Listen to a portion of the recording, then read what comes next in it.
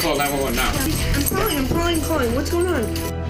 I just fell to my knees and I was crying and screaming.